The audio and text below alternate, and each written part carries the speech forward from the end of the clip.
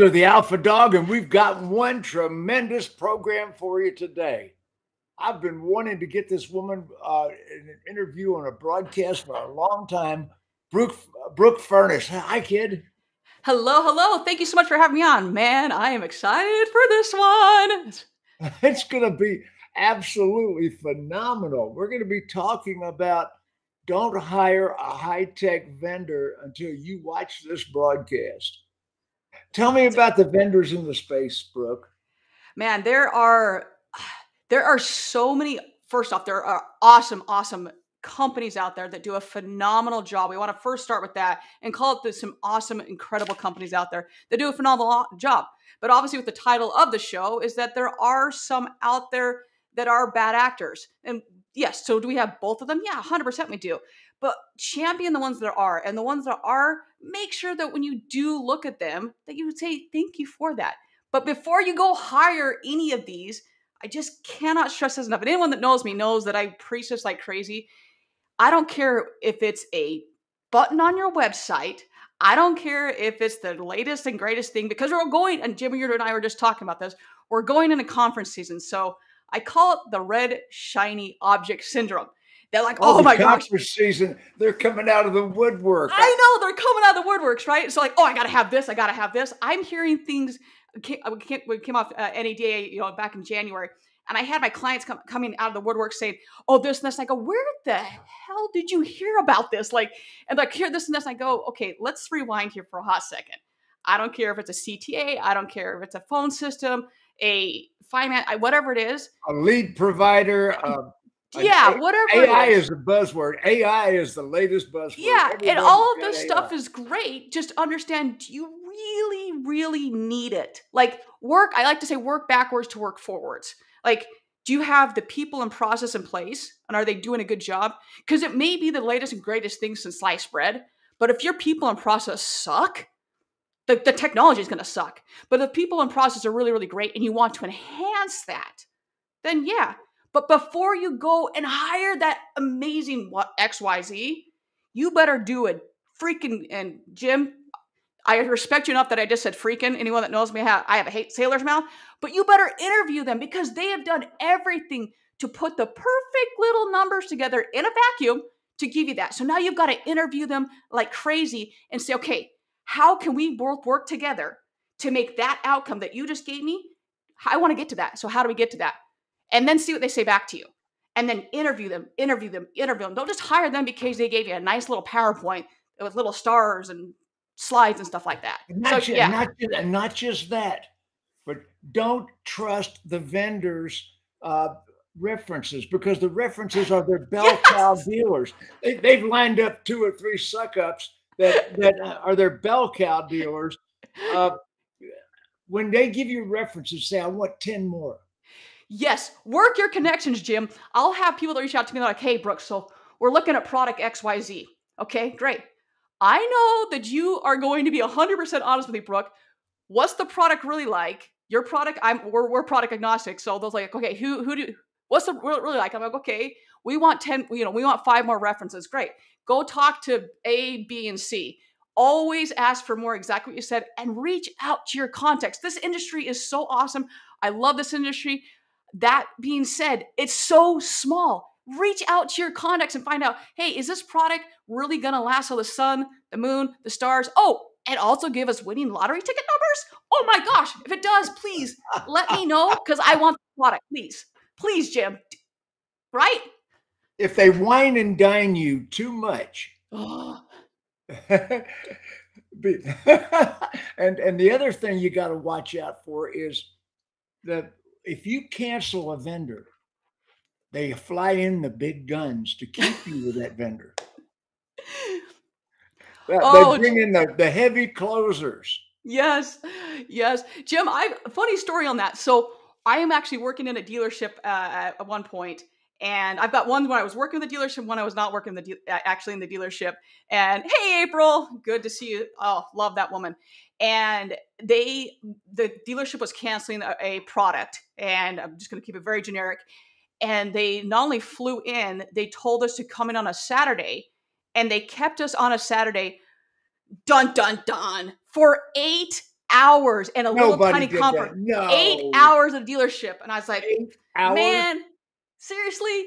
Yeah. So I, I mean, I've seen everything for, yeah, that's a, that's a big, Uh, I know it's going to flip here. So however you're looking at this post live stream, post stream, eight hours. Eight hours. I, yeah. Like if, and when you really do have the dealer's best interest and you've vetted it and sometimes things just don't work out. Like we've all been through breakups. It happens. Like it happens. Like, like world, world things happen that's when it's just like, hey, I understand that this doesn't work out. I hope later on that we can cross paths and work again. You want to make sure because this industry is so small that you can work with that person again. Like, don't burn that bridge. I've had it happen recently as well, where a dealership, uh, not that you would ever leave my services because I'm incredible, but they left another agency and it was just, it was bad. And they full out told the dealer, yeah, you're not going to like us for the next little bit. Like, tell me about your tell that? me about your company for a second. Okay, my company, we're a BZ Consultants Group, and like I said before, we are product agnostic. Our whole goal is to inspect what dealers should be expecting out of a vendor, out of whatever it may be, and that's I say digital marketing, but that's really broad mm. because that could be your ad agency, it could be your phones, it could be Google Analytics, and that can be a very scary word. But we take all that technical jargon and take it and say, let's work that report into actionable items. Because I hate, not that I hate data, but that's a word that people throw around. And anyone can take a oh, report. Oh, everybody's got data. Oh, everyone has data. And they say they can. Everybody. How do you take data. that data and turn it into an actual item and say, hey, Mr. Mrs. Dealer, from here, here's how you can improve on it. Hey, that data here, here's how you can do X, Y, and Z with it. So if a dealer wants to sit on a, in a meeting with me, great, fantastic. If you just want to get back to selling cars, great. I will hold X, Y, and Z vendor accountable and get back to you and say, here's what they're saying. I we do not sell anything. We don't do it. We literally just take all your vendors. Whether what is your, what is your website? bzconsultantsgroup.com. Okay, that works out real well. Okay. It's pretty easy. BZ like yeah, easy. Yeah. I can I can type that. Yeah, yeah. And then yeah, I also hold uh, host a podcast every Friday. Uh, facts not feelings, hence the thing because I'm really, really, as April knows, is that too many people get caught up in, oh, I feel that this works or I feel this way. Cut through the drama of how you feel and get down into the facts of this works, work those facts, work what actually is working versus what is not working, and get through it. I mean, it's, it's too often it's, uh, April had this discussion a ton that, oh, I feel that mailer worked oh, I feel that this lead provider works. Really? Really? You think it does? Did you know that the, actually that platform that you're using has zero engagement? It actually had two, you know, 100% zero engagement, and you're spending $4,000 a month on it. So maybe why you feel that way, the data proves otherwise. Yeah, and you know what else is a big pile of stinky poo poo is um, a big steamy pile of stinky poo poo is attribution. Yeah, that's that's another buzzword, my friend. We're, we're, we're throwing out all the buzzwords, Jim, all of them. At, when when somebody tells you they've got attribution, that is the most bogus science or anti-science or pseudo science in the world. We have attribution. We help make the sale. No, you didn't. You know, excuse me. Uh, you know, you can't live without us. Yeah, no secret yeah, that I don't like cars.com. I don't like cars.com. I've never liked cars.com. I, I don't like their ancestors. I mean, okay, everybody knows that's personal opinion. I could be wrong. But so that's more enough. of a feeling versus a fact. Is that what you're trying to tell me? Oh, well, it's a definite feeling. I don't like cars.com. I mean, um, but that's just me. That's a personal opinion. And, that's okay. Know, but, but all in all, I think lead providers in general are dinosaurs being sucked down in the tar pits, eating the last brown shriveled leaves off the trees. I, I can respect that opinion of that. I, I think we're going to probably differ on that a little bit, but I can definitely respect your opinion on that. Eh, yeah. There are so many. You're allowed to disagree with me. Yeah, that that's the, Jim. That's I what makes this. World... I respect your right to be wrong. and that's what makes this world so great is that we all have so many different opinions and so many different views, and that's what makes the world so great. I, I there are so many different ways to look at things, right? And so anytime I go into any store, I'll look at all of their data first off and say, okay, why are you with X, Y, and Z, whatever it may be? And it's, oh, we've always done it that way. Okay, not a great way to look at stuff, but I respect that opinion. And we'll go through, and there are certain geographical areas that certain lead providers do well. I will I'll take like I was having a conversation earlier with a colleague and friend, and I go, you know, you look at like a progressive.com or a kayak or Expedia, and everyone, for the most part, the general public will go to those sites to say, hey, let's go look at what these the travel plans are. Now, personally, I'm a I'm a diehard Delta. I fly Delta. So I'm going to go straight to Delta. But for the majority of travelers, we're going to go to something where everything's listed there. And they can see everything there. And that's how most people are going to go to a site. Now, how a shopper goes, they're going to go straight to an OEM manufacturer site. That's one type of shopper. How someone goes to a cars.com, that's a different type of shopper. So all these shoppers are different and how the spend is is very different. When you start to dive into that, man, it's really really crazy and what it actually costs you. But then it also comes down to jim is how the the agency they've chosen and how it's being how it's being administered because that also is very very different. So if you don't have your eye on it of where your money is being spent and what provider because not all providers are created equally and i know that you are very very well aware of that. So when i look to see okay for instance i was going through one of our clients recently and I said, they're like, oh, well, X provider's just not doing a good job for us. I go, okay, how do you know that? Well, we didn't get enough leads. Okay, let's look at this. We looked through, they'd actually had more leads for the first 30 days than they've had for the last 90 days based on this. I go, well, let's look at this a little more. What's your process in house? Well, we don't know. So we went through a little bit more. Well, what it was is actually they didn't have enough, their process in house was not great. They didn't have enough people in house to handle that. The the traffic from X provider was was more engaging than it had ever been, but it was falling flat because in house, they could not handle it. So we went back to a couple of other ones. We said, hey, everything, all this money you're spending is honestly being lit on fire because in house, you guys can't handle it. So we went through and looked at their SEO, their SEM, and we saw the same thing over and over again. I go, you guys can go ahead. If you guys want to spend more money, you definitely can, but you're going to continue to light your money on fire. So you look at all the other lead providers and same thing. Are you priced to market? Do you have photos on your website? Do you have photos on your third party site? Do you involve chat? Do you have click to call? All these things are they do you have a random lead provider that you maybe you canceled but they're still showing inventory out there? Do you look at that? Because now you're telling the customer, oh, yeah, we didn't even know that was there, but now they're spending a lead and they're pissed off at you because you didn't even know we had inventory out there. So there's all these different things that if you're not constantly inspecting what you expect out of it, you're just making a horrible customer journey and now, customer dealers. Dealer principals, pay attention. Dealers, every day there's a myriad of vendors hitting your your service director, your GSM, your GM, who uh, your BDC director, who has the ability to make a purchase in your name. I'll, I'll guarantee you, you're hiring vendors you don't even know you have. Oh, because some manager hired them, and that manager might not even be with you anymore. When was the last time you, as a general manager or a dealer principal, audited? You know, when when did you go through the financial statement and sign the checks and see exactly who you're paying for services? Oh man, Jim, that's a whole that's a whole topic in itself. The Isn't amount of times. True? Oh, so I I look at all of that as well Is that we go through and I would say within the six first 60 days of, of a client coming on board. And it's once again, I don't pitch products. That's not what we do. We literally just pull back the curtain and say, oh, by the way, do you own your data? Now that we're trying, now that if it's, there are certain companies out there that still say, nope, you can't own your own data. And that, that leads me to drinking, first off. Secondly, if we can get to the point that they can't own their own data, then it's like, holy crap, I'm paying what? Yeah, that's what you're paying. And then it's like, okay, so we can save this, we can save this thousand dollars, we can save. So they end up saving significant money within the first 60 days just by saying, holy crap, I see this now.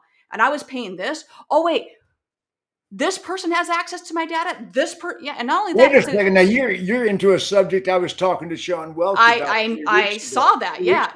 Yeah, I mean, it, it's crazy uh, though. Who who is exporting data out of your CRM, your website, and your and your DMS? Well, it's not just it's not just third parties. You'd be shocked how many times the dealers do it as well. The dealers do it as well, and that like within a given week, the amount of times I get dealers or OEMs or insert whatever that will send an email to me with PII just riddled with PII, and I go, "You guys, this is this is illegal to do this." Or I'll have said per, uh, name a person that's upset with me that I won't send a sold list or a sold loss list. PII, personal information. Good job. See, you learned. Look at that. You you know what it is now. Look at that. It. what? Yeah. So it's just amazing how many times I will get upset. how many times people? I'm in Chicago, so it works. But the people will be upset with me that I won't send that to them. I'm like, no, but I will send you a secure link where you can go view it, or I'll, I will have I've actually had DM, DMS providers send me an entire uh, sold list that includes everything about the customer. And I go, what? Uh, seriously? Not only is that illegal, your cyber insurance better be freaking astronomical oh, because you put the deal at risk and you put yourself at risk and you just broke look, look what so April many laws. Said. April said they sneak them in on the part statement. Yes, She's talking about managers that want to hire a vendor without permission from the GM or the dealer, they'll, they'll, sneak it in on the part statement. I'm trying to, and and so if anybody like sees me like rapidly squinting, I have about two inches, five inches of vision right now. So Jeff, I see you. You're saying uh, you talked about dealer sites having dingleberries uh, connected to website and DMS from old vendors. Uh, yeah, it's a massive. That is such a yeah. That's a Jeff, you know, I've done like five episodes on GLBA and FTC compliancy. It's just, it's a nightmare uh, about that. So it, that's like something as well is that I know that you touched on, so I don't want to get too much into it because it was on your last episode. Like we'll, we'll go through each month uh, within the first 30, 60 days and just say, okay, how many GTM containers are on your site and go through and just delete them and then the pixels and then just say every single month you need to go through this and work with your website provider and do that because it's such a big thing to say and especially when the turnover happens, that then the old old providers still have accesses to it. It's amazing that they've got someone them from like eight years ago collecting data on them. It's like that that's a, that's illegal to do that. You can't do that. So and once again, going back, go ahead. Oh, oh, oh, hang on one second. Uh, Jamie, Jamie uh, just said, uh, what employees have access to your to your DMS, your and own your your all your all your code, all your sign in passwords, everything. Yep what ex-employees still have access to your stuff? A lot. A lot. A and lot. Jamie, Jamie will know this. Jamie and I actually worked together back in Infiniti, and my Infiniti days working for the OEM. And you would have employees, I would have dealerships that would literally get so frustrated with me. And I'm like, you guys, stop using John Smith at Gmail because at that point, when John Smith leaves the dealership, John Smith is taking all of his customers, not yours, Mr. and Mrs. ABC dealer. They're now his customers. Oh, that's just the way we're doing it. Okay, then great. So don't be mad when that happens. And now when John Smith leaves, well, I go in there and I see that John Smith is still in your CRM. John Smith is still in every single application. So John Smith can still export all the information. So it hits John Smith's dealership, not yours, Mr. and Mrs. Dealer. It's crazy how much I see this. Or let me let me give you a better a better another example, not a better example, but another one. Bring it. Okay, and this this was innocent. My my my my web designer, good friend Jay Scaron, passed away last summer unexpectedly. Forty years old, heart attack, dropped dead. And when and when and when and Jay was a good friend. Um, I found out I didn't own any of my websites. I didn't own any of my platforms. And I had a ton of them. His wife didn't know where the passwords are. And I mean, it, what a nightmare trying to unravel that with a new web web designer. And uh, GoDaddy wouldn't talk to me. Nope. Nope. You're not the owner. Did, nope. Not the and, admin. And he had, he had masked them with, yeah. with, with, with a with a masking uh, service that there's an, another layer layer of who owned the websites. And then some of the websites from wordpress and other other platforms. I didn't have those passwords. And it took us and his wife was very little help. She she wasn't um, savvy. And we we we had a we had to guess the passwords Man, Jim, so it's just shocking how often this happens. I'll go into stores. I mean, going whether it's Google Analytics, it doesn't matter what it is. Let's say that you're I know this is automotive, but let's say that you're you're on this you're you're doing another group site that has group site that's on your uh, WordPress of some sort, whatever it is, and I go in there and they don't own any of it. Like I've obviously had to build my own website, and if you don't own anything, whether it's I, I just recently was dealing with one of my other same same with the client, and the OEM is trying to own everything. I go no no no, you have to own it because if if you're if you get hit by a bus, who now owns this? because now XYZ owns it and you do not own this. You have to own everything. Not only is it, is it whether it's Facebook Meta is mandating, Google mandates it, you have to own everything because that this this stuff happens so much. Uh, Jamie's saying here, GMB and social pages uh, are the way in store now. Like Jamie, you say that, but and it's very very true. It is. Sh- it's not even shock anymore because I deal with this on a daily basis. That the OEM and agencies are saying, oh, no, no, we'll handle that for you. You don't need to owe that. So then what happens is then they change the ad agency, they lose everything.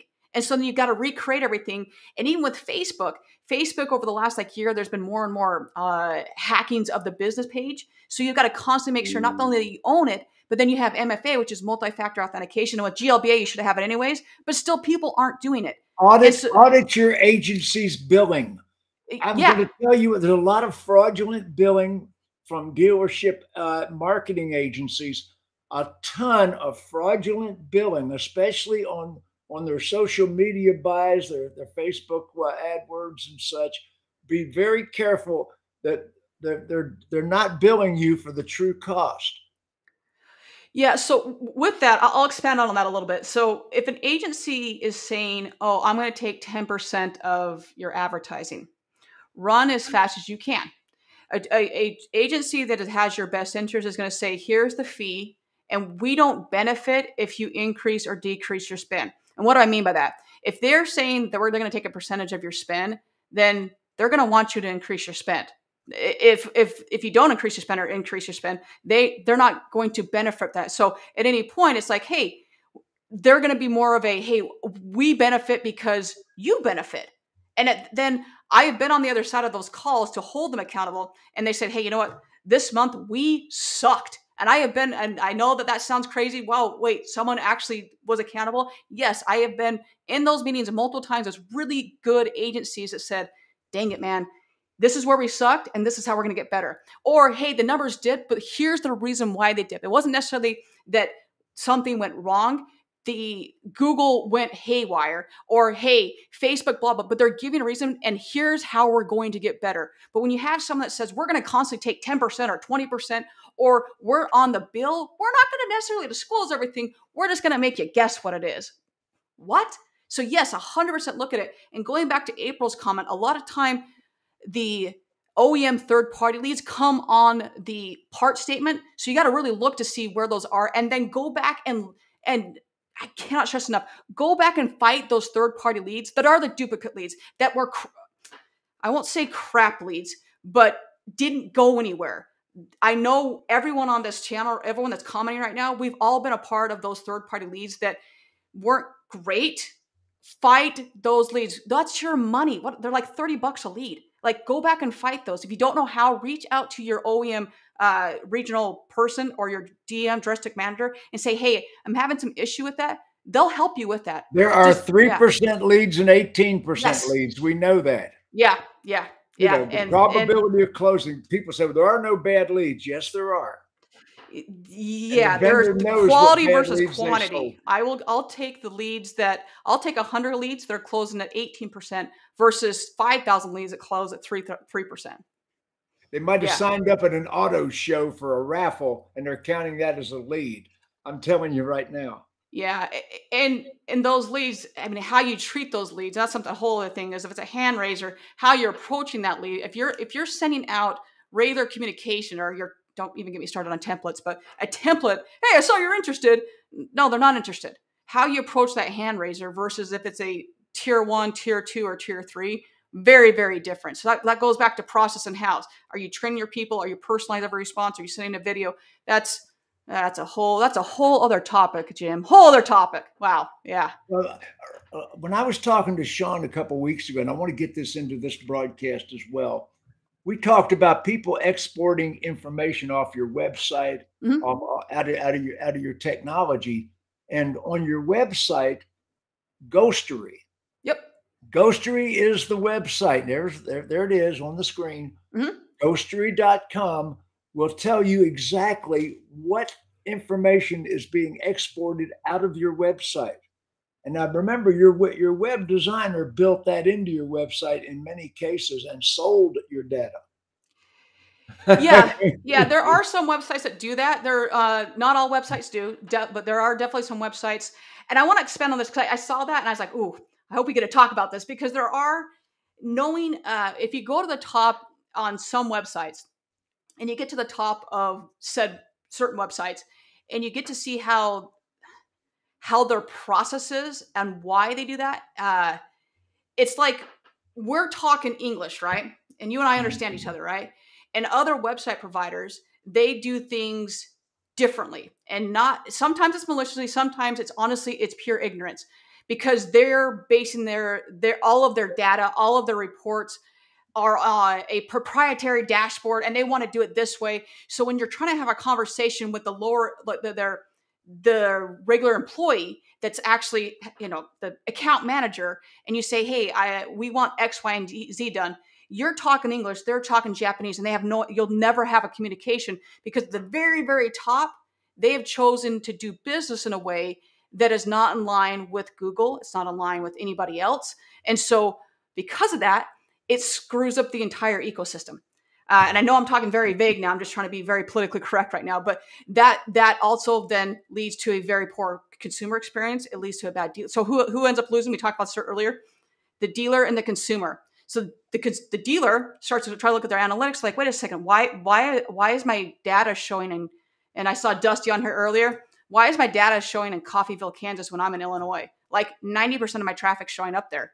Well, it's because your said website provider, who's also your ad agency, isn't doing things the, the correct way, which also is shipping your stuff off to a place. Now, it really could be served the right way, but they, they're, they've chosen to do things in a very archaic way.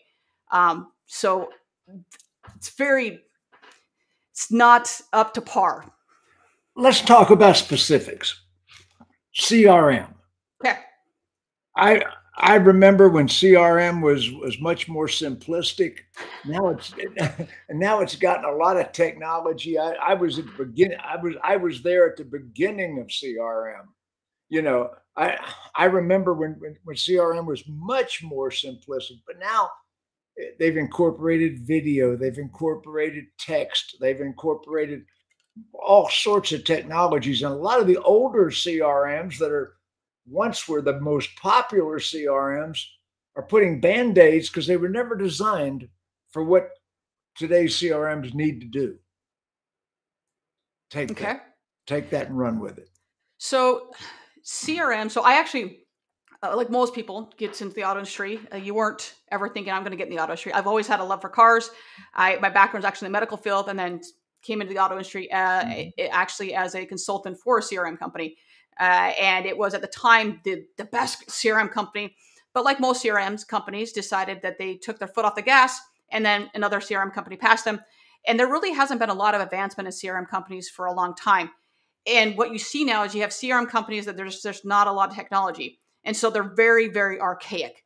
And you have now it's just like a, a glorified I won't say glorified Excel company, but you don't have you don't have APIs, you don't have integration, and you have we're just going to hold on to our data as tight as possible and we're not going to let anybody integrate with it. And then I'll, I'll couple that. You get outside the auto industry and you've got a HubSpot. HubSpot has a free version, it has a $30 a month version, and I can integrate anything with it. it. Versus we have this clunky thing over here that feels like it's technology from 1980 that nothing wants to integrate it. Now that's partly our our industry that says I'm going to hold my data here because I'm this company. I'm going to hold my data over here because I'm this company. And I don't want to work with anybody. Well, okay, that takes it one step further into GLBA land that says, wait a second. we have these big companies, and I'm not going to go on the cooperable thing because I know you guys talked about that. Is oh, okay? I, will say Reynolds and Reynolds is holding your hot your data. It's not just Reynolds. It's not just Reynolds. It's not just Reynolds. But you've got mm-hmm. GLBA that says, okay, everyone has to be GLBA compliant, and you've got these companies that are pushing, we're going to make you 100% GLBA compliant, and they're full out lying to you.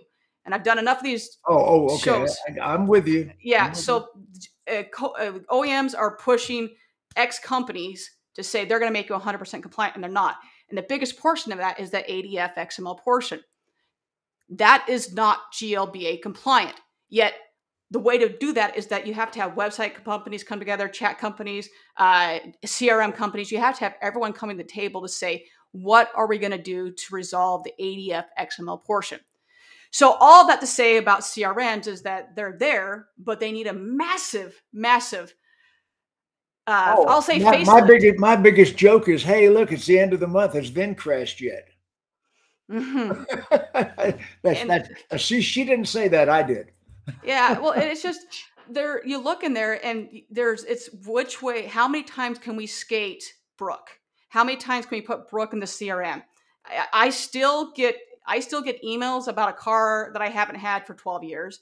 Um, you have CRMs. Clean that, data. Clean data yeah. is a big issue. They're now talking PureCars. Yeah, yeah, and and even with that, so and I'm sure Aaron or um, uh, it's um, anybody will come on here from uh, from Data Miner is that you have to look and say, okay, where are we sitting with push pull integration? Because it can't just be with the CRM. It's got to be with Brian Pasch just put out his, put it out about the CDP. I haven't had a chance to look at it because I have five inches of vision, but it was an 83 page uh, document uh, research on CDPs. And I know there's so much talk about CDPs. We still have a really far way to go before we can actually get to that. But customer lifetime value has been talked about for a long time. It's just now you've got companies that are are working towards that. So the CDP is where is where we're going to because CRMs couldn't fulfill that because they fell short. So the CRM is just a, it's a bunch of crap information in there. It's not that it's crap. That's your first party data, but it should be clean. But instead, what we try to do is say, I don't want to. I don't want him to skate me, so I'm going to put Brooks' name in a little differently. And then my question to you is: If came in 15 different times, who are you giving credit to it?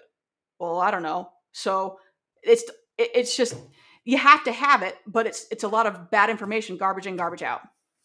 Okay, CRMs. Um a lot of CRMs evolving, a lot of a lot of CRMs hiring outside vendors to supplement what they can't do and were never designed to do. To do.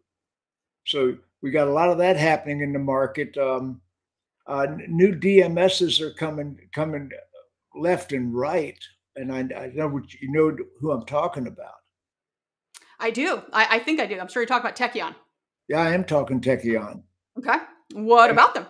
Well, right now, a lot of people are, are saying Tekion is is the best thing since sliced bread. But you know, other than the best thing since sliced bread, what does your DMS or your CRM report back to the manufacturer?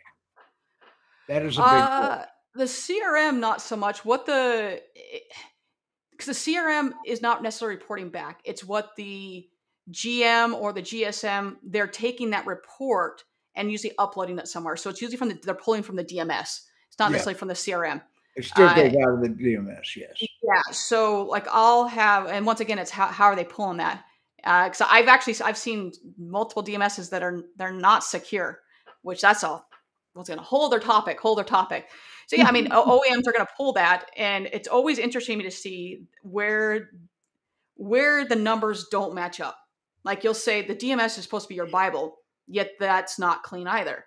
And then the OEM will get like, oh, here's here's this number. That's funny. How did you get that number? Because that number's not accurate. Okay. Aren't you pulling from the DMS? Well, yeah. Well, then how did you get that number? like it's not not a correct number. But you know, that's also any like I'll go back. I just saw Dusty cl- uh, uh, comment up there, and that is why it's so important. Any report is a is a one dimensional report until you can actually go and look at that and work the facts because you can take I had a, uh, someone, you know, statistics are just, you can manipulate them any you want, but actually taking that report, whatever it may be, and working the facts to say, okay, what does this actually mean? And is it accurate?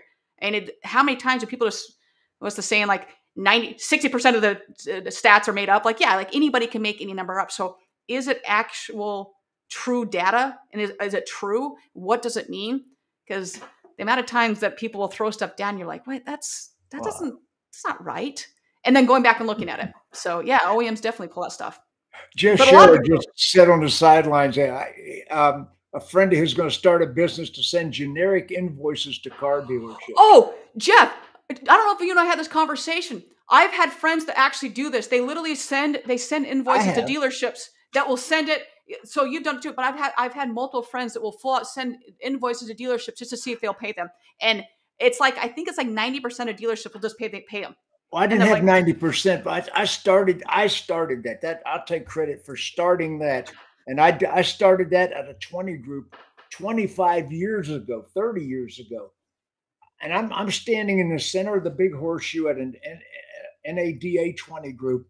And I handed half the dealers in the room an envelope. And in the envelope was their own check for like a $65. I did it several times mm-hmm. because I had invoiced this dealer and their people had cut me a check and I was handing it back to them at a 20 group. And it is so easy. You could you could absolutely. So Jeff, you're absolutely right. You can make a business sending bogus invoices yep. to dealerships because they pay them because the dealers don't sign their own checks. Oh, it's so true. Uh, like I I have looked at expenses before and I go, "Hey, I you know, I'm I'm not your CFO. I'm looking at stuff and based on the advertising spends and every cuz I look at all the spend and I go through it and I go based on what I'm seeing here, something's not adding up. Now, not your CFO, I want to be very clear. Maybe you guys want to take a look at this. And it's like, oh, thanks, Brooks. Thanks, thanks so much. And they'll go back and it's like, and it's off, it's not off by a little. And I'll catch it. I'm like, oh my gosh, thank you, thank you, thank you so much. Thank you so much. it's just like, you know, maybe, maybe look at this, just a thought. But it's that is also why it doesn't matter if it's your lead providers. It doesn't matter if it's an ad agency, it's your website provider. It doesn't matter, whatever it is if it's whatever, you've got to have a pulse on your business and just saying, are we inspecting what we expect out of fill in the blank? It is so crucial to whatever you're doing to constantly be looking at that. So then when something happened, it's not like, oh my gosh, I didn't know that happened, Jim. I, you know, that caught me off guard. No, it shouldn't catch you off guard. If someone walks out the front door because they're pissed off, were you inspecting what you expected out of that employee? What did you were you inspecting what you expected out of your back of the house, your front of the house? You got to constantly inspecting what you expect out of things. It's it's you should be okay, Let's get into lead. Let's get into lead providers. Okay. Now I I am I am I am of the belief that lead providers are rapidly becoming extinct. Dealers could could duplicate uh, by buying their, their their own SEO, their best, their own SEM they can buy their, their social media advertising. TikTok's even selling cars now. Uh, there, there are ways to sell cars. You don't need lead providers. That's my my my personal opinion based on the fact that I have an IQ higher than a termite. take that, take that, go with it, Brooke. Yeah. So uh, I I respect that opinion. Um, there are, I go back, I guess, what do you consider a lead provider? Let's start with that. Okay, let's let's say TrueCar, Auto Trader, Cars.com. Um, you could um, add car CarGurus. Okay. Which I and I, I doubly don't like them. I uh yeah, yeah. yeah. I that's that's a yeah. Okay. I don't I, like cars cars.com, but I really don't like CarGurus. Okay. yeah, I would say with uh, there there are definitely I will say lead providers are not created equally. And if you regardless what you choose on your lead provider, I cannot stress enough that you do your due, due diligence to vet them. Um, there are there are lead providers that want access to everything and you better lock that down real quick like and if you and jim you know what i'm talking about when i say the this. EULA agreement? Uh, yes and not only the that is user license end user agreement license. on every and when you cancel a lead provider i cannot stress enough there are certain lead providers that you have to submit two cancellations to them not one two. One you cancel with them the second one if the terminology isn't right you have to send a second cancellation to them so that your inventory is taken offline. I know we that doesn't won't mention them by name, Cox. Uh, but anyway, yeah, it's actually it's actually this, this that one, but it's another one as well. Uh, otherwise, they'll continue to sell, put your inventory online. So, are is a lead provider a bad thing? No, it's not. I, I don't. I don't. Uh, data shows otherwise that uh, that lead providers aren't bad. I go back to what's your process in house and how are you handling those. Um, for so many reasons, it's now if you're going to say I'm going to take every lead provider out there, I do not agree with that uh, for multiple reasons. What is your SEO like, and what is your SEM like? Uh, what is your social like? There are so many different things. In addition to that, if I look and say, I'm going to take Auto Trader, just pull one out of the air right now. I'm going to take Auto Trader. If I look at your Auto Trader and you're spending whatever on it, and I see that you continually, as a dealer, don't price things, you don't have photos, you don't have a chat on it, that it's not optimized, honestly, you shouldn't have it. If I look at any of the other ones and you, if I also look to see that the engagement on it, and once again, product agnostically, I'm looking to see the engagement's not good on it, I'd get rid of it. But if I look on, uh, we'll take, I'll take cars.com. If I look at cars.com and your engagement is through the roof on it, like I've got multiple dealers right now that they're closing their uh, auto trader leads higher than their leads on any other provider. So if that's the case, I'm always going to tell them that to keep that. Versus I look at their other four th- third party lead providers and their engagement's horrible on it, like horrible. So I I let the data always lead. I'm going to as all, people know me, it's facts, not feelings. I'm always going to stick with what is the data telling me, and then from there, I'm going to make my decision. Because I can have a feeling of like, man, I really don't like X Y Z provider because I've had a bad experience with them. I also know geographically, geographically, certainly providers are always going to do better. That's just they always do. Even with that, I'm always going to go back to what is the data telling me? Okay, this is an anomaly. I mean, I, I literally last month I had a couple of dealers, and all of a sudden, desktop views skyrocketed like why why are people viewing desktop more on your site versus mobile? Like everyone views websites on mobile. But for some reason, like if I just automatically assume okay, mobile is going to be the most, I would have I would have been wrong. So I always am going to go back to data on that. That was a long-winded the, answer. The, the biggest thing I when I say I don't like certain lead providers is because they also serve up your lead to other to other dealers with similar units. Once you paid for the lead and you're working the lead, and all of a sudden they got five more dealers on the sidebar, and their and their advertisement on television or other media says dealers are criminals. We are the salvation. Any any vendor that advertises that dealers are bad to make them look good, I don't have any use for that vendor at all, and I don't think we should support them under any circumstances. Any vendor, like like I always use Carfax for an example. Mm-hmm. They always had commercials where the dishonest, lying car salesperson was lying to the customer, but thank God the little cartoon fox ratted his ass out. yeah, I I think I see that more with uh, nowadays. You're seeing that more with the uh, Vrooms and not the Carvana really has. Oh, Vroom's yeah. the worst. Yeah, Vroom and Carvana. I mean, Carvana's kind of look, look own where their finances are. Yeah, and I think like the tough thing with Carvana is like from a dealership's perspective, I think a lot of people are, are jumping on this. Hey, let's bash Carvana, and this eh, understand like there was a need for Carvana that as a dealer, hey, there are especially as a female, females have a really rough time going into a dealership because we're discounted so quickly. So there was definitely a need, and, and also from a younger generation, you see young, whether it's the Gen Zs or uh, just the younger generation, there's a reason why people would go to a Carvana. So from a dealership perspective, we should say, wait a second, that that's actually working. The the process, not the, obviously the dealership is needed. I want to be very very clear. More brick and mortar brick and mortar is so needed. Like not that Carvana needs to I hope everyone knows what I'm saying here. The process itself of buying online and making it seamless, that portion is needed. Now, if people actually dug into the Carvana experience, a lot of some people know this is that it's not all online. Be very clear, it's not online. I think I think that it's a, it's an average of like 12 phone calls that someone has to 12 actual phone calls that are needed uh, during the process of Carvana. They're not going to advertise that, but that is and then the yeah, but knowing that as a dealership level to sit there and cast stones now while they did that to the us as dealerships, we shouldn't turn around and be like, "Oh yeah, you suck. Aha, you're going down." That's not what we should do because now, how better are we than what they did to us? So, well, you know, Brooke, a lot of times I, I, I say things to be provocative, but I've saved the big one for last. Oh um, goodness, here we go. All right. Okay. digital retail. Oh, I I know your thoughts on this one. So okay, uh, digital retail. You know where I'm at. I do. And I'm so, not going to give you any trick questions where I take take the opposing view, but uh, like I have and on occasion. Um, so I, I'm going to go back to my very first statement I said on here. If you are slapping a button on your website before you ever think working backwards to work forward, you have completely failed.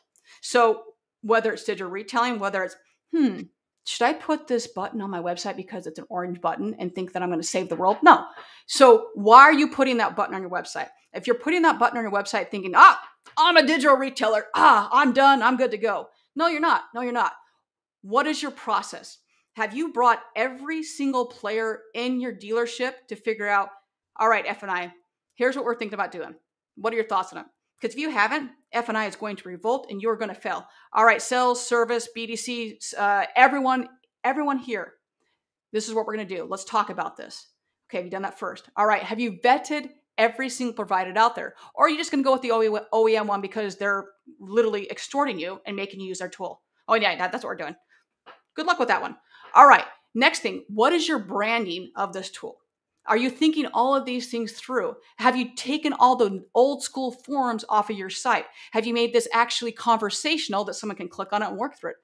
What's your trade-in tool? Is the same trade-in tool when someone says I want to trade in? Is that trade-in tool the same as what's in your DR tool? No, they're different. Great. Awesome job. Now you have two different trade-in tools that aren't going to match up. Awesome. You're going to make your customer super pissed off of you. Great job on that one. So working all these different this is just a very small percentage of what has to take place versus I'm going to slap a, tra- a thing on my thing. Then, well, we have a DR tool, but we also brought in Capital One. Then we brought in something else. We have an old school calculator payment here. All of these things have to be taken into place because now you have two separate DR tools on your site. They're going to be different. Okay, well, now we're going to have 15 call to actions on our site. So you just confuse the hell out of the customer. Awesome job on that one. Have you simplified the entire process? Do you have a video explaining what the tool is and how to walk them through? Then continually branding that tool throughout everything so everybody knows what it is. If you if your car if you call it the red carpet express tool, there better be a freaking red carpet waiting for the person when they get there. If you say you're going to make it fast and the customer gets there and they have to start the whole process over again, bad job. I don't go I don't order my thing on Starbucks and I order my chai tea latte and get to Starbucks and be like, hey, you know what? Get to the back of the line and reorder. Because if that's what you're doing, once again, you failed. If you haven't done all these, then digital retailing has failed. If you have done every checkbox throughout the entire process, then digital retail as a whole will be successful. But at no point if you don't do those, it's going to fail. Are you going to be a one person sales team, one person throughout the entire process, or are you going to let other people do it out the same thing? Are salespeople going to be allowed to do F and I products? If not, okay, that's fine. Then move on. Are you going to offer menu option, F and I menu options?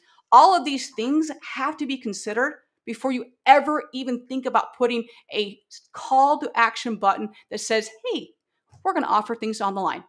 Going to deliver. Like these are there's so many dominoes that have to fall and be set up before you ever even think about putting a little tiny button on your website that says you can shop online. That's my answer.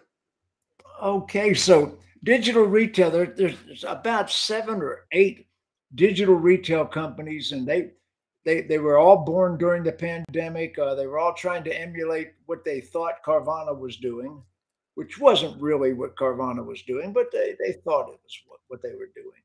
So anyway, all these digital retail companies came out, and dealers thought, and manufacturers fell in love with it. Oh, we'll get the Tesla experience. But guess what? Didn't happen. Only a portion of people will fully transact on yep. any system. Mm-hmm. a small portion uh, compared to the overwhelming big portion. It still will get. They will. They will fill out some forms. I I went to the doctor this week. I filled out my forms in advance, but I still went to the doctor. Hmm. And I didn't get do a video chat with the doctor. I went to the doctor, took my clothes off, everything, you know. did, did the whole nine yards and didn't do it for the camera, you know. But thank you for that visual, by the way. I mean, counseling. Thank yeah. you. Okay. Anyway, yeah. Oh gosh, I, I, was a hunk when I was young, but anyway. oh, the show is off the rails, Jim. The show is off the rails. anyway, people did not transact online for the most part, and you know Tesla is is is, a niche. Yep. Carvana was a niche. Vroom was a niche that never happened. You know, uh, but they were all niches, and they were all, and when and when the when the pandemic died, Carvana died. If you think about it, you know, all of a sudden it wasn't just the fact they couldn't produce titles and they had bad bad business and they they paid too much at the auction and all all the reasons people say they died. They they they died because the pandemic died. I believe that in my they heart. They don't have any service either. Where are they taking the cars once the cars once the car's bought? Who's servicing the car? There's exactly. no there's no there's no there's no fixed ops and variables. There's no parts. There's nothing. They need us to do that. That's so a that, that's no re, no repeat referral business. That's the huge portion of it.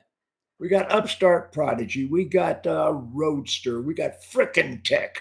I mean, my God, look at all the, the names that have popped up in, in in in that genre and they are great sure showroom tools, by the way. I'm telling every dealer you need to buy a digital retail tool, but don't expect it to totally transact uh, frictionless online because it won't. No, it, it's there to once again you're you're there to meet the customer where they are. So whether the customer calls, whether the customer texts, whether the customer wants to see, hey, uh, I want to be here but I only want to get this far in the process. Great. Hey, customer, Mr. Rich customer, I saw, hey, how many, I, I, whoever's still in the chat here, let me know. Uh, how many of you right now are using your your tool, whatever it is? And a lot of people right now have like three digital retailing tools on their site because they're being forced by the OEM to get another tool. But you say, hey, Mr. Customer, hey, I saw you got to the trade portion, but you didn't get Hey, I know that you get busy sometimes. Maybe your kid, it's 11 o'clock at night. I saw that do you need any help? Did you get stumbled by something? But too often we just expect that the we get busy or we expect that the tool is going to do it itself because things get happen. But are we actually using the technology to our advantage to say, hey, I saw that you got here. Hey, I saw you put in a trade of your your 2021 uh, Hyundai Tucson. That's a great car. Do you have any questions about that? But too many people aren't taking advantage of that because you, you definitely would go you're, would definitely go a lot further on it. But the whole thing, yeah, the, the, numbers that you go end to end, yeah, it's not a lot. It's not a lot. That's also why Carvana only had like 2% of the entire used car market. I mean, so using that technology to say, hey, you're here, and then from here, but yeah, the, the streamlineness of it is is great, but no, not a lot of people are going to go all the way through. Uh, yeah, no. Now, now uh, Stephen Stassi on the sidebar asked I've been wondering, and, and I know um, certain CRMs have it built in. What do you think about video interaction with the customer? I, I think yeah. we're in the, the Zoom generation, especially selling F and I, and I wonder why more dealers haven't done this. If I yeah. was consulting your dealership, we would have video interaction with the customers. What do you think? Yeah, so a great question. So actually, 2010, Zoom didn't exist, right? So 2010, uh, shout out Jeff Perry, Buick GMC, and Peru, Illinois. And we actually started, I was one of the, uh, in my company, the first to do this. We started Skyping with dealers, Skyping with customers.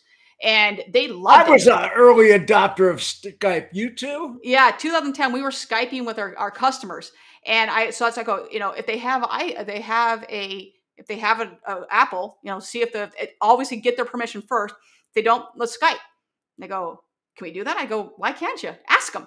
And all of a sudden, you just saw engagement skyrocket. So I've been doing this since 2010. So what was weird during the pandemic, what I saw was that we had we had uh, some of my clients had uh, chat providers that could video chat, and others didn't. But we would always ask, and we had some certain pockets of the nation would want to have the video, video interaction, and others are like, nah, I'm good. And even now, we we see both. I see some that really want to, but others like, nah. There, you get that Zoom fatigue. We're like, nah, I'm good. I don't want to. So it's really, it's really important. Like all of my clients, they know this. If anyone's watching, every single client gets a video recap, even regular video emails. Like is the fourth oh, dimension. I I, I can t- I can send this video and get more across in three minutes than for me to type an entire email that you're probably not going to read. It gets just so much quicker, so much quicker. So I, am a huge fan of it, huge advocate oh, of it. Much much quicker than that, as fast as you speak. Yeah, right. I'm a fast talker. but I got to tell you, I pioneered video in the automobile industry. It, it was it was hilarious. In 2006, picture this: 2006. I'm standing on the stage at Digital Dealer, holding up my flip camera and and I got 400 people in the audience, and I said, "Does anybody know what this is?" Nobody knew what a flip camera was in that audience, and it was amazing because I had just been to the National Speakers Association convention a month earlier, and Terry Brock, their tech guy, had showed the flip camera. I didn't know anything about it until a month earlier, so I'm doing his presentation. I've stole his entire presentation to the Speakers Association. So I, I, I interviewed a woman in the front in the front row, walked up to the stage, shoved it in my laptop, downloaded it to YouTube, and emailed it to myself and projected it on the screen. And that was the technology of the day. And by one year later, everybody was running around flip cameras. And then I discovered Elise Kephart. I awesome. found her and brought her out to one of my conferences. And, you know, she was doing what I was teaching better than I was. And I, I, I basically, she quit her dealership after I brought her out and um, became a, a, vendor, and uh, her dealer still pissed at me. Never. yeah, yeah. But that that was the history of video in the car business.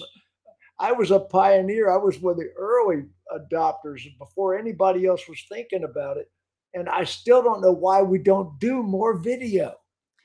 You know it's I, I battle this with some of my dealers where they actually have uh, they'll have a Covideo or they'll have something and i'll just say why are you not doing it? And sometimes well, we don't have time. I go but you have time to write an, an email? Well we're just going to send out a template but that template isn't always right and the customer knows like it literally takes 30 seconds to do a video. So i, I will get pushback and yet i'll have other dealerships that swear by video. Well obviously we all know why.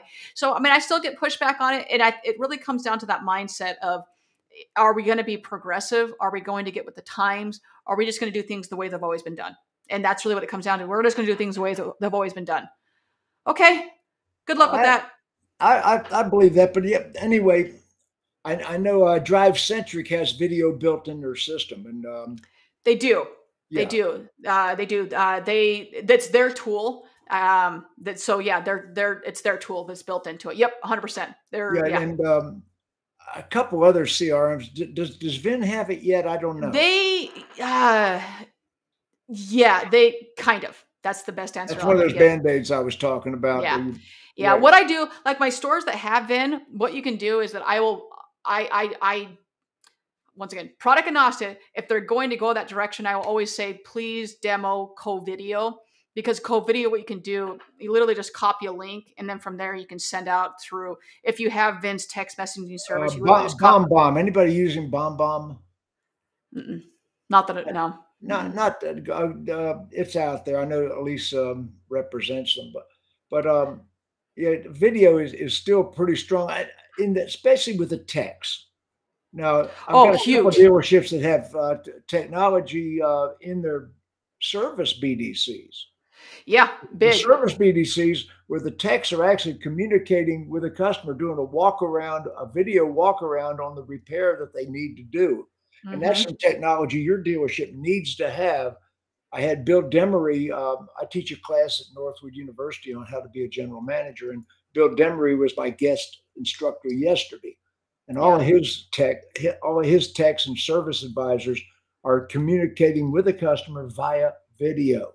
Yeah, as Steve Stephen has said, Loom. Stephen, I I use Loom every probably like ten times a day. I've used it I think four times a day. Mainly, I one I use all the time, but I because I can't really see right now, I've used it at least five times a day. Loom is phenomenal. I love it. I used to use Vidyard before then. Loom is way better.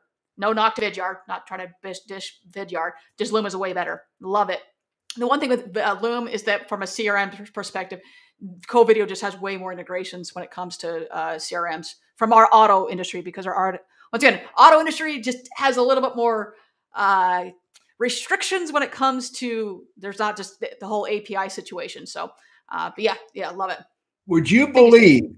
Would you believe we have blown through one hour?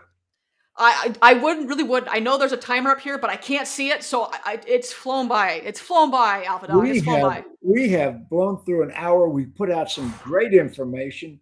I would I would hope the the, the people uh, appreciated what we did today because so. we're touching on subjects that nobody else touches. It's, it's it's been a good one, Mr. Jim. Mr. Jim, it has been awesome. Thank you so much. It's been a pleasure, my friend. Okay, here here it comes one last time. Uh, well, thank you. Thank there you. There you go. Brooke Furniess with BD with BZ Consultants Group. That's right. Uh, www.bzconsultantsgroup.com. That's right. And yeah. of course, you can find the Alpha Dawg at ZieglerSupersystems.com. You know, and um, I'm, I'm I'm not going into dealerships, but I'm doing a lot of video consulting. Um, uh, you can you can hire me for ten thousand dollars a day all day long. So uh, remember, I'm out there. And wave goodbye to the audience, kid.